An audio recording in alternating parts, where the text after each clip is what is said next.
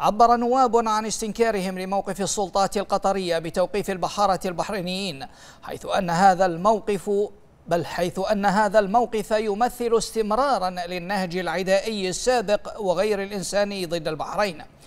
مؤكدين أن هذه التصرفات تتنافى مع حسن الجوار والعلاقات بين الشعبين الشقيقين ومع ما جاء من اتفاق في قمة قادة دول مجلس التعاون الخليجي في منطقة العلا.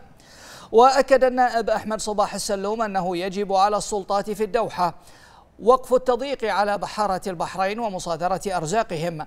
ونوه إلى أنه يجب أن ترفع قطر الحجز عن القوارب والبوانيش التي تحتجزها منذ سنوات من أجل تسليمها إلى البحارة ليتمكنوا من ترتيب أوضاعهم. وقال النائب باسم المالكي إن استمرار قطر في اعتراض وتوقيف البحارة والصيادين البحرينيين واحتجاز قواربهم وتعريض حياتهم وأرزاقهم للخطر. يمثل تهديدا للأمن الوطني والغذائي لمملكة البحرين مؤكدا أن استمرار قطر في توقيف البحارة يمثل استمرارا للنهج العدائي السابق وغير الإنساني ضد البحرين لافتا إلى أن هذه الاعتداءات القطرية المستمرة منذ أكثر من عشر سنوات تمثل تعقيدا لأي تقارب.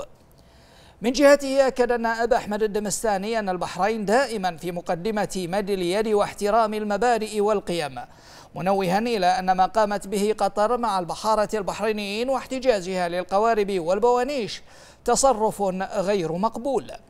وأكد النائب بدر الدوسري أنه على الرغم مما جاء في بيان قمة العلا والتأكيد على عدم التدخل في شؤون الدول المجاورة إلا أننا شهدنا في الأيام السابقة العديد من الاعتقالات التعسفية لأبنائنا البحارة البحرينيين من قبل السلطات القطرية. مؤكدا أن هذه التصرفات تؤكد بشكل واضح أن قطر لا تريد المصالحة عبر تصعيدها المستمر وعدم رغبتها في الحوار وحل هذا الأمر.